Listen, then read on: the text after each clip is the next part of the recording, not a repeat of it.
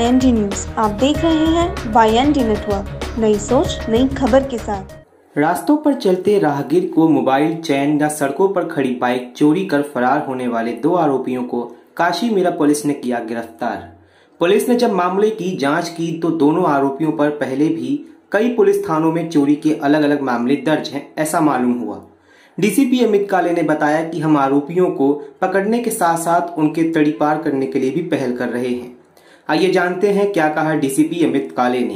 महेंद्र वसी Virar police commissioner बना है।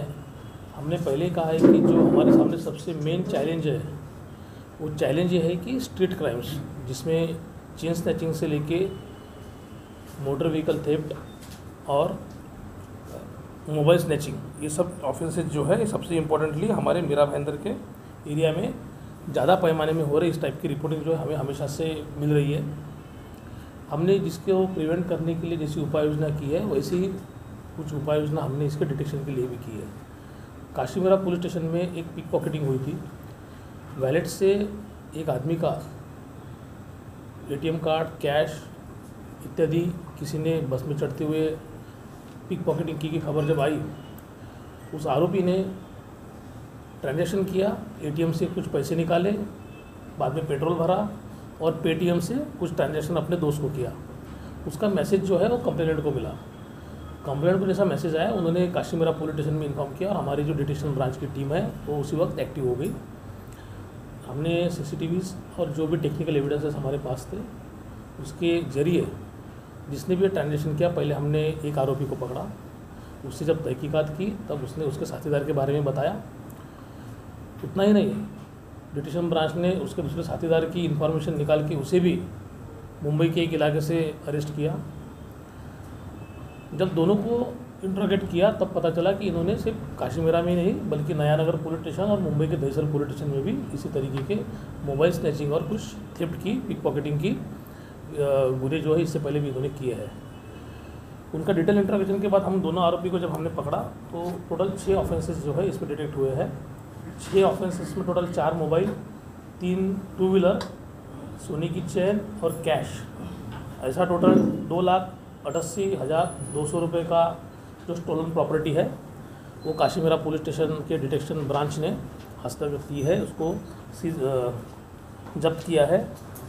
दोनों आरोपियों को कोर्ट में प्रोड्यूस किया, उनका पीसीआर होने के बाद उनका भी वो एमसीआर हो चुका है।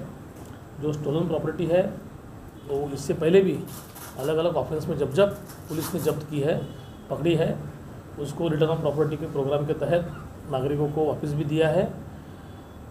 ऑफेंस रजिस्टर करने का परसेंटेज कमिश्नर बनने के बाद इसमें बढ़ गई है। इसका मतलब यह है कि सिर्फ़ ऑफेंस नहीं बढ़े हैं बल्कि उसको रजिस्ट्रेशन करने की कार्रवाई बढ़ी है। लेकिन ऑफेंस अगर रजिस्टर हो रहे हैं तो सेम टाइम हम लोग डिटेक्शन के ऊपर भी हमारा ध्यान है।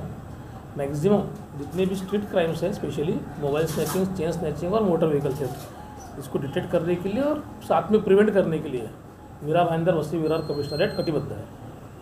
जितना उनसे मिला है उतना तो हमारे सामने है। ऐसा भी हो सकता है कि इनके कोई एसोसिएट्स होंगे और जो बाकी के इस ऑफ़िस में और किसी ऑफ़िस में होंगे। तो इसकी चेन जो है कितनी चेन है इसके पीछे हम लोग अभी भी लगे हैं हमारा इन्वेस्टिगेशन अभी भी जारी है। पहले बोला है कि आरोपी रहने वाले यही के हैं, बेकार काम करते हैं। आपको पता है कि लॉकडाउन के बाद प्रॉपर्टी ऑफेंसेस में हर जगह पे बढ़ोतरी हुई है। लोगों के पास काम धंधा न होने की वजह से चोरी करने का आसान ज़रिया उन्होंने अपनाया हुआ दिख रहा है। डिटेक्शन चल रहा है। मैं इससे पहले भी कहा कि सिर्फ़ प्रिवेंशन ने तो डिटेक्शन और उसके आगे भी मैं आपको एक बात बोलना चाहूँगा कि कन्विक्शन के लिए भी हम लोग अभी प्रयास कर रहे हैं। जो ऑफेंस रजिस्टर हुए हैं इस साल अभी, पिछले हफ़्ते में काश्मीरा पुलिस स्टेशन के ही मोबाइल स्नैचिंग के और बाकी रॉबरीज के टोटल आठ गुनों में जो ऑफेंसेस है, उसमें हमको कन्विक्शन मिला है। तीन साल की जेल जो है, उनको आरोपी की सुनाई दी है। तो हम तो प्रिवेंट ही नहीं कर रहे, उसको डिटेक्ट भी कर रहे हैं और कन्विक्शन तक पुलिस अपना जो इन्वेस्टिगेशन है, उसको अच्छे तरीके से करने का प्रयास कर रही है।